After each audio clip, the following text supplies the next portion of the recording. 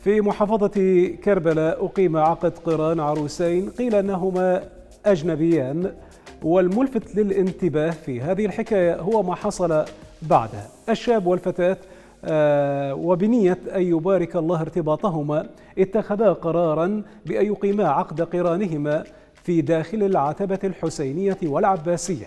ولدى إتمام العقد وإنهاء الزيارة لوحظ بأن العروسين بمفردهما فسارع العراقيون من الزائرين ومن المتواجدين ليشاركون آه، العريسين أو العروسين فرحهما بهذا اليوم بأجواء استثنائية على الطريقة العراقية.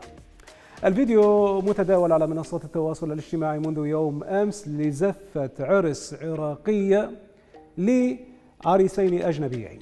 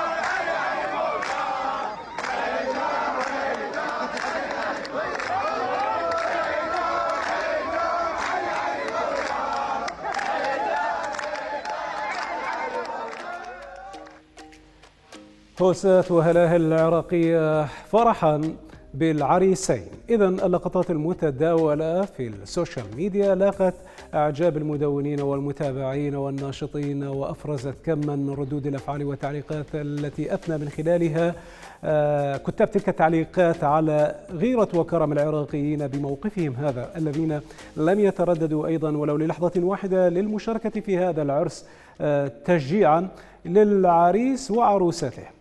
من جانب أيضا ولعدم إحساسهم بشعور الوحدة والغربة من جانب آخر. هناك تعليق نبدأه معكم عن هذه القصة لأحمد العلياوي. يقول أحمد العلياوي في تعليقه اللهم صل على محمد وآل محمد. آه، ألف مبروك وعافية العراقيين. أصحاب واجب ومن يوم يومكم مو جديد لا والله. هناك أيضا مداخلة من ريماس تقول في تعليقها أحلى من العرس شهامة العراقيين للغريب قبل القريب. ربي يجعل بلدنا آمن. أيضا هناك تعليق آخر ومداخلة أخرى من وائل عليوي يقول أحلى زفة عرس على الماشي ودون أي ترتيب وهيك حلوة طلعت عود لو متفقين عليها.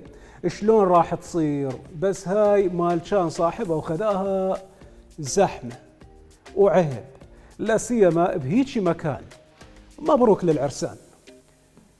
أيضا هناك تعليق آخر من رضا زين العابدين يقول والله والنعم من العراقيين أهل الغيره مو بعيد عليهم هذا الكرم. هذا يدل على طيبتهم. ربي يديم عليهم هاي الفرحة والسعادة.